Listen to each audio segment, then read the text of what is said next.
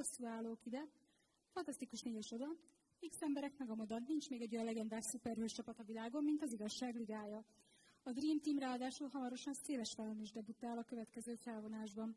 Noha rengeteg apró hírmorzsát szóltak már erre a szuperprodukcióról, azért nem árt felfrissíteni emellett a képregényes ismereteket sem. Fogadjátok szeretettel, sok, sok szeretettel Tihanyi Máriát.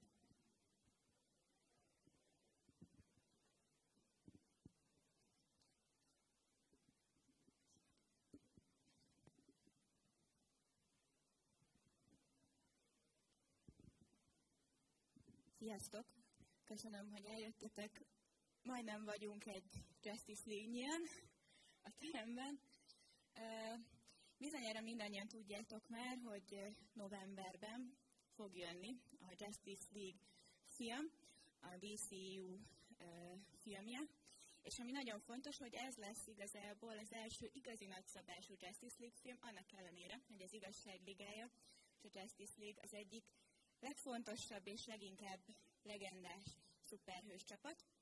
És én most arról szeretnék igazából beszélni nektek egy kicsit, hogy milyen képregényes előélete van ennek a csapatnak, hogyan jöttek létre, milyen alternatíváik vannak, mert hogy a képregényben nagyon sok formációban létezik a Justice League, mire számíthatunk, mit várhatunk majd egyáltalán ettől a filmtől, ebben a filmben, és szeretnék a végén ajánlani nektek majd egy-két képregényt is, ami, ami szerintem legalábbis olyan, hogy érdemes lenne elolvasni még a film előtt, és nagyon-nagyon jól sikerült felvonásai a Justice League egészen hosszú történetének.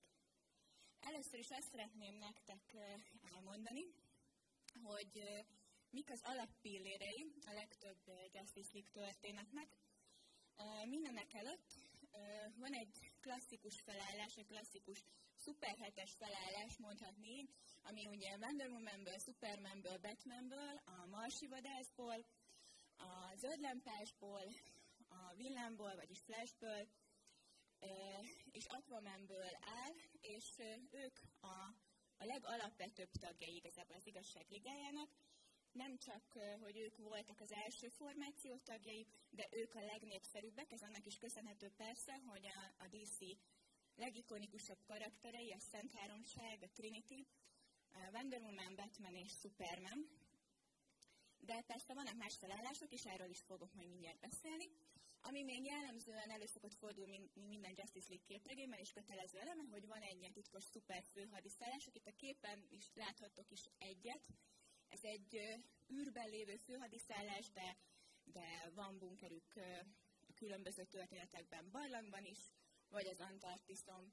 Ami fontos még, hogy noha Csodanő, vagyis Wonder Woman nem minden egyes Justice League történetben van jelen, és képezi a, a liga alapvető részét, van, hogy például Fekete Kanári van helyette, vagy más női karakter, de mindig van egy női karakter is, és mindig van egy vezér, aki egyébként volt már Wonder Woman is, de egyébként legjellemzőbben, meg talán legikonikusabban Superman szokott lenni ez a vezető, viszont vezette már a ligát Batman és a Marsi vadász is. És ami még fontos, hogy a Justice League ahhoz, hogy összeálljon, ugye mindig kell, hogy legyen szuperhősökről van szó, mindig kell, hogy legyen egy, egy szuperhatalom, egy szuper fenyegetés, ami sokszor egy idegen invázió vagy egy idegen megszállás formájában érkezik, és szükség van arra, hogy az a, a világ, a Föld legnagyszerűbb szuperhősei összefogjanak, és együttes erővel tudják legyőzni ezt a fenyegetést. És ami még nagyon fontos a Justice szempontjából, ez egy későbbi fordulat, egy picit később jön be, nem rögtön az első számnál, de a multiverzum jelenség.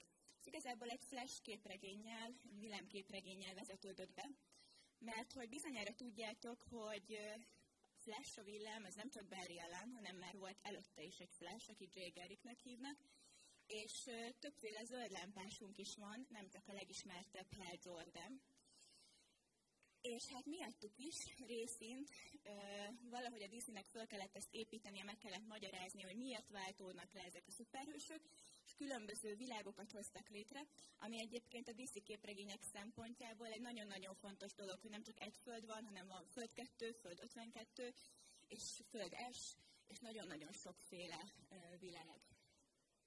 És hogyha már csapatok, meg különböző csapatfelállások, meg multiverzum, meg, meg különböző világok, akkor arra gondoltam, hogy összegyűjtök nektek pár érdekességet. Nem csak Justice League létezik itt simán, vagy Justice League of America, ahogy legismertebb, leginkább ismerhetjük őket, hanem létezik Justice League Europe, International, uh, Super Buddies formáció, ami szintén Justice League tagokból, egykori Justice League tagokból áll. Létezik olyan, hogy Justice League Task Force, Justice League Elite United és Extreme Justice is. És most három csapat felállást szeretnék igazából kiemelni nektek. Kettőt azért, mert szerintem, hát, hogy így fogalmazzak, nem annyira ismertek és klasszikusak, és ez talán nem véletlen. Az egyik a Detroiti bagás, őt a Marsi vadászal az élen láthatjátok a legnagyobb képen fönt. A Marsi vadász vezeti őket egy ponton túl, de előtte Aquaman volt a vezérük. Szegény Aquaman, hát én bízom benne, hogy nem csak a DC jelenleg futó Rebirth szériája, de majd a DC EU nagy filmje is rehabilitálni fogja. Ugyanis hát őt mindig valahogy egy kicsit ciki karakternek érezte mindenki, mert hogy hát beszélgett a halakkal. Hát mennyire jó, de az ő ereje nem csak ebben áll. Itt viszont hát a stafétát azzal, hogy a Marsi vadásznak átadta, tulajdonképpen teret adott ő is egy nem annyira sikeres csapatnak. A képnek a bal szélén, akit láthattok figurát, ő Vibe névre hallgató szuperhős, ő egyébként civilben egy puertorikai bréktáncos, vagy az Esmeralda hasonmás hölgyemény középen, aki nagyon találó módon Gypsy névre hallgat, is egy különös ugye, színfoltja ennek a csapatnak. De Firestormot is láthatjuk, aki már ismertebb karakterek közé tartozik a Marsi vadásszal, és egyébként Vixennel együtt, de az Elongated Man, vagyis a megnyúlt ember sem annyira ismert, ugyanis az ő szerepét meg később átvette a Plastic Man, aki már egy sokkal ismertebb karaktere a DC-nek. Szóval nem voltak egy annyira sikeres széria, talán nem véletlenül, bár a Marsi vadást szeretjük, és ez sem véletlen. A képek közül, amit még a jobb alsó sarokban láthattok, az pedig az Extreme Justice felállását sugalja, illetve mutatja. Captain Atom a vezetője. Lehet, hogy róla se hallottatok olyan sokan.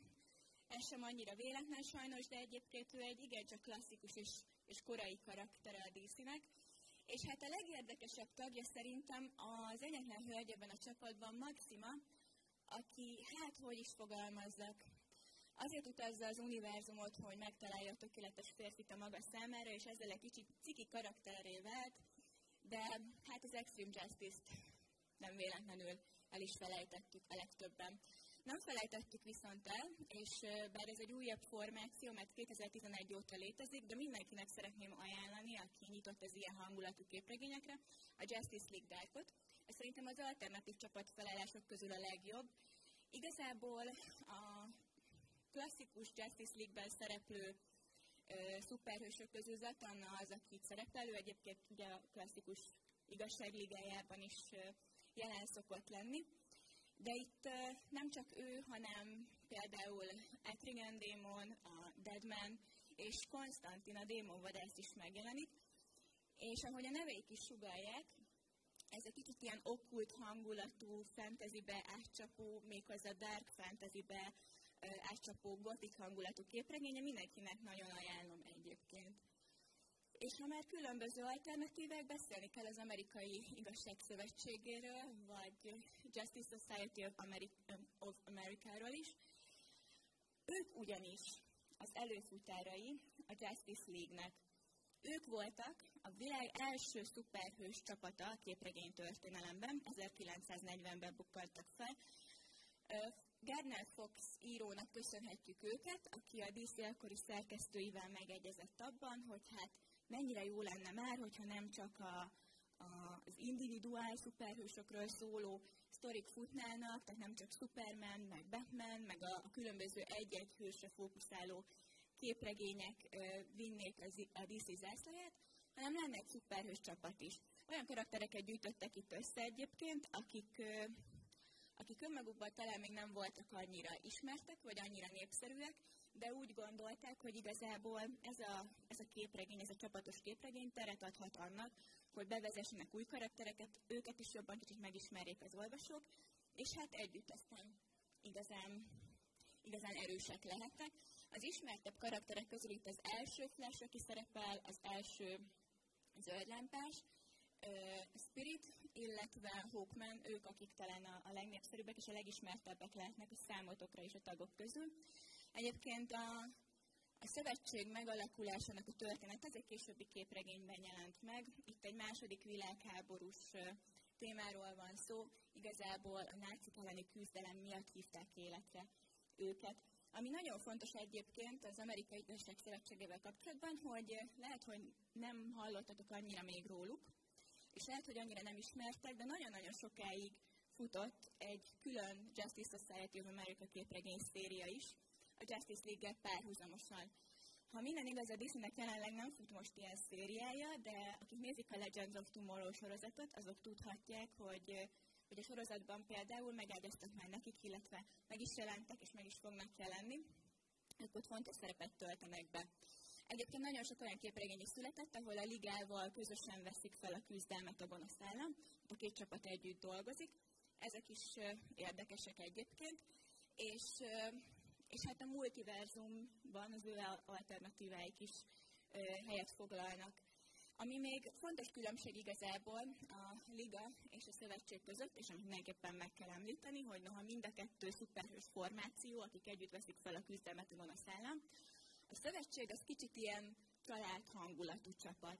Itt arról szól a dolog, hogy egy ponton túl ugye az első szövetségerik is megöregszik, és akkor átadja másnak a stafétát, nem Barry ellennek, hanem, hanem nevelgető is, idézőjelben a többiekkel együtt fiatalabb generációkat tanítgatják őket, és, és együtt mentor státuszt is betöltenek, és, és igazából kiöregednek, átadják a stafétát, a fiatalok átveszik, így halad ez a szövetség, mint tényleg, mint egy család, míg a liga arról szól gyakorlatilag, hogy vannak ezek a baromi erős, leghiper szuperek, szuperhősök a, a világon, és akkor ők összefognak, és együttes erővel küzdenek a gonosz ellen.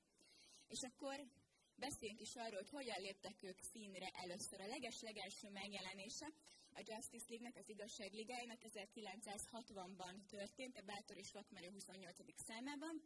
Az ő felállásukat is Gardner Fox írónak köszönhetjük, viszont ez a leges-legelső felbukkanásuk, ez a leges-legelső történet még nem eredet történet volt, ez nem arról szól ez a sztori, hogy akkor ők hogyan találkoznak, hogyan állnak össze és alapítják meg az igazságligáját, hanem arról, hogy együtt harcolnak, de még, még itt, itt, itt igazából már ismerik egymást.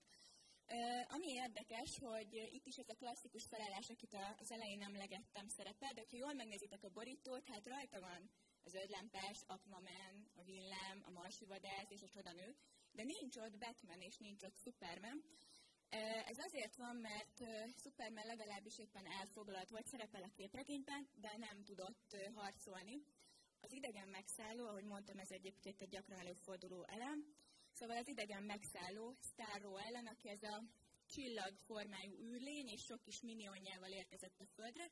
A minionokat legyőzik itt is egyenként, illetve összefognak a nagy Starro ellen egy csapatként is.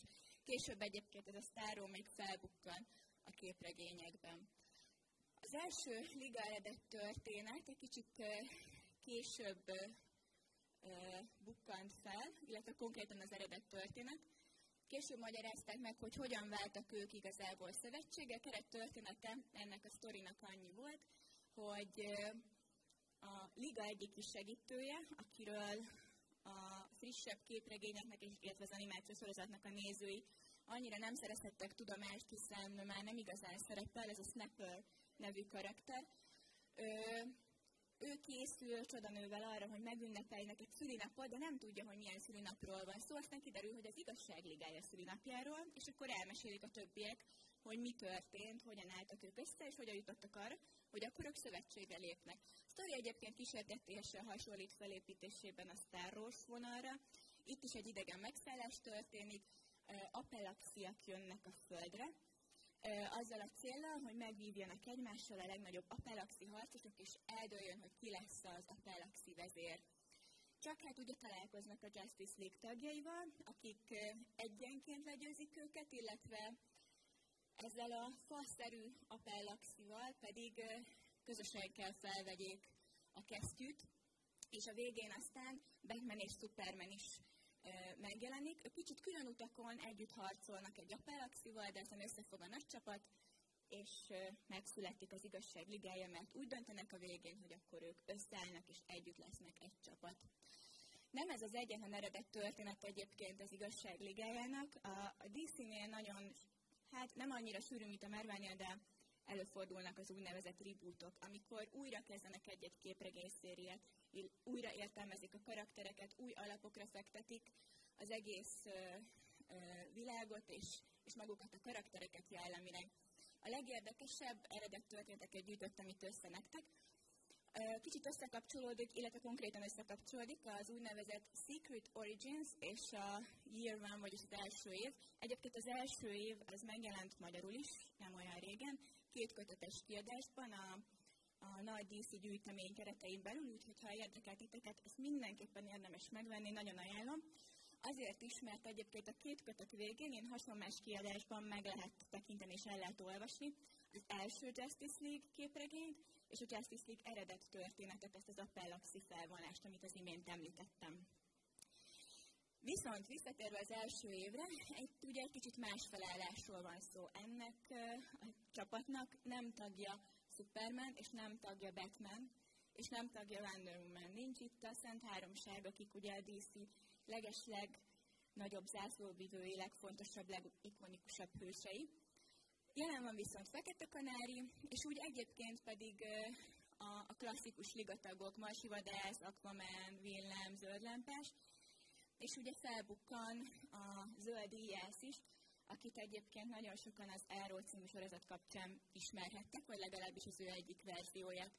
Az első év egyébként azért is egy nagyon jó képregény, mert gyakorlatilag egy az egybe párhuzamba állítható a klasszikus igazságligája képregénye, a legelső eredet történettel, pelaxi támadásról, idegen támadásról van itt is szó, és egyébként is nagyon-nagyon sokat reflektálnak például a sztáróval való küzdelemre, és nagyon sokat reflektálnak ezekre az első képregényekre, a klasszikusokra, úgyhogy tök érdekes így elolvasni ezt. Kicsit későbbi, a 1997-es, illetve a Year One-hoz képest erőbbi, ez a New World Order nevezetű pár részes széria. Itt is egy idegen megszállásról van szó. Ez azért érdekes, mert azok az idegenek, akik a Földre érkeznek, és utóbb kiderül, hogy ők igazából ilyen fehér marsi űrlények, először hősnek adják elő magukat. És az emberek elkezdenek feléjük fordulni, bennük hinni, és megreng a bizalom, meginog a bizalom a Justice League-ben. Megkérdőjeleződik az ő pozíciójuk, aztán persze kiderül, hogy a trónbitorlók valójában nem is annyira jó fiúk, úgyhogy ez ezért érdekes. A Justice League of America Volume 2 Zero Issue, Who's In alcímmel a 2006-os újraalakulás történet igazából egy ilyen felvezető. Ez az Infinite Crisis utáni gyakorlatilag folytatás, ami tulajdonképpen nem is annyira egy történet, ilyen epizódok vannak benne, visszaemlékezések korábbi eseményekre, Batman, Superman és Wonder Woman oldaláról, és olyan epizódok ezek igazából, amik a korábbi nagy-nagy hosszas szériából kimaradtak, de érdekességek, kicsit jobb, meg nagyobb betekintést nyújtanak a karakterek mienségébe, életébe, és az a vége, az a kifutása, hogy összeül a Szent Háromság, és elkezdik megbeszélni, hogy ugyan kik lennének jók, hogyha csatlakoznának az igazság ligájához, mert hogy ők akkor újra alakítják ezt a szövetséget. Nagyon fontos a mi szempontunkból most a Justice League Origin, ez a New 52, uh, új 52 uh, rebootnak a nyitánya Justice League szempontból, vagy igazságligája szempontból. És azért fontos ez, mert amit tudni lehet a filmről, eddig a novemberben érkező filmről, az alapján azt kell, hogy mondjam, hogy igen sokat épít erre az eredet történetre. Itt arról van szó, hogy ismét van egy idegen megszállás, paradémonok érkeznek, és az őket vezető Steppenwolfra. Steppenwolfról pedig azt kell tudni, hogy ő az egyik kis minionja a nagy-nagy-nagy DC főgonosznak, a DC univerzum elfelejtettem a Marvel főgonosz nevét. Köszönöm. Ez nagyon ciki, mert egyébként annak ellenére, hogy úgy tűnik, hogy én most nagy DC rajongó meg szakértő vagyok, a Marvel jobban szeretem, zárójelbe zárva.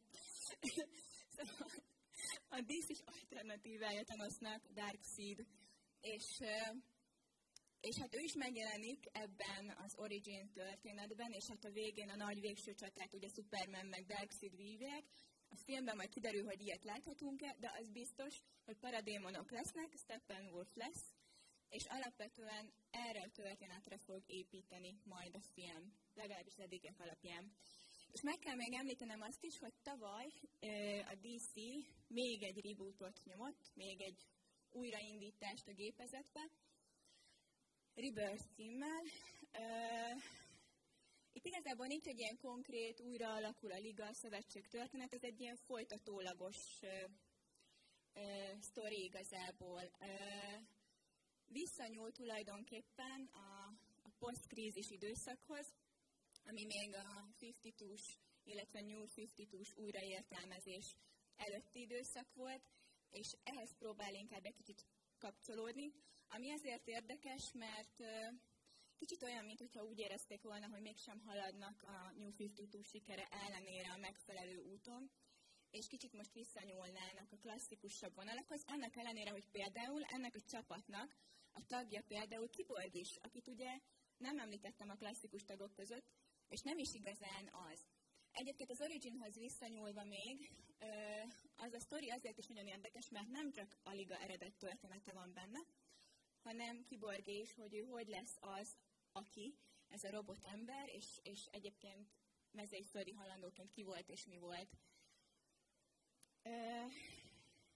Lépjünk akkor tovább, ha már előzmények, és annyit emlegettem a filmet, mielőtt a filmről mondanék pár mondatot, érdemes pár szót vesztegetnem a filmes előzményekre is. A legtöbben ugye bizonyára Bruce Timm féle animációs sorozatot ismerik, ismeritek, gyerekkoromban én is, illetve lehet, hogy megfiatal tínédzser voltam, nem tudom, de találkoztam vele. Tök jó volt, tök hangulatos volt, a legtöbben az igazságligáját ennek kapcsán ismerték meg, és ennek kapcsán szeretik de nem ez az egyetlen filmes vagy rajzfilmes adaptációja és színrevitele a ligának, hanem volt már egy filmes próbálkozás 97-ben. Ott fönt láthatok is erről egy fantasztikus képet. Szerintem a kosztümök, meg amúgy a jelenet is magáért beszél. Azt mondanom sem kell, hogy az Atom Vixen Flash, zöld lámpás, Killer Frost, vagy bocsánat, lehet, hogy sima Frost felállás nem igazán volt sikeres. Benne volt még a Marsi vadász is, akiről sajnos most nem sikerült egy képet betoldanom, de ő is hasonlóan impozás kosztümben tolta. Szerintem mi cosplayerek is sokkal szebb kosztümöket készítünk, mint amik itt láthatóak, de egyébként ez a, ez a legkisebb hibája a filmnek. Bájos, ügyetlen, de elkaszálta a kritika úgyhogy nem lett aztán folytatása, pedig szerettek volna aztán egy sorozatot készíteni belőle, mint ahogy egyébként a régi Flash sorozatnak is a nyitánya egy film volt.